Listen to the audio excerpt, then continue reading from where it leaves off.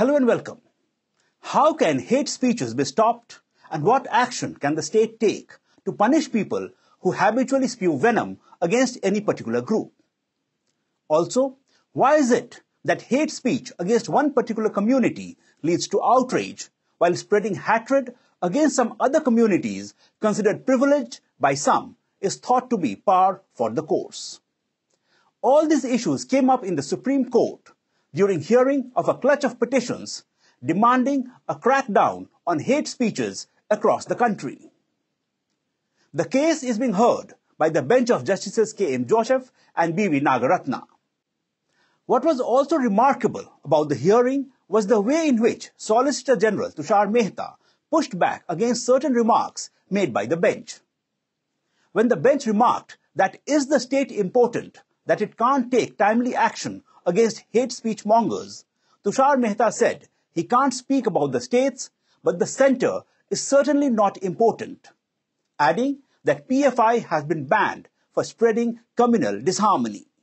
Mehta also questioned that why one of the petitioners, who is from Kerala, ignored the incident where at a Muslim rally, a teenager is seen telling Hindus and Christians to flee the state or start preparing for their own funeral.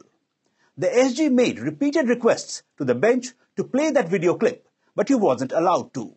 The Solicitor General also said that the petitioner should also include a speech by DMK spokesperson who, quoting Periyar, advocated the genocide of Brahmins. When Justice Joseph said that Periyar was a great man and laughed, the SG said it is no laughing matter. Certainly, Periyar was a great man, but does call for genocide against Brahmins not amount to hate speech? Can the court gloss over such statements? He asked the bench. At one point during the hearing, when Justice Joseph, apparently referring to one of the hate speeches against the majority community, said it was just a reaction, the Solicitor General pushed back, saying the reaction remark could be seen as justification. Advocate Vishnu Jain, who was appearing for some Hindu groups, also mentioned several processions taken out by Muslims in which Sar Tan Se calls were given. Sar Tan Se refers to beheadings carried out by Muslim extremists for any action or remark they feel is blasphemous towards Islam or the Prophet.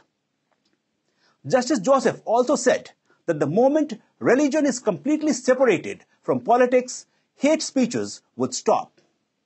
When it is made mandatory that no appeal can be made in the name of religion, all this would stop. There is a deep connection between religion and politics. He said, At the end of the hearing, the bench asked Maharashtra government to file a status report on action taken against alleged hate speech by Hindu organizations. It also said that it will deal with other issues on next date of hearing on April 28.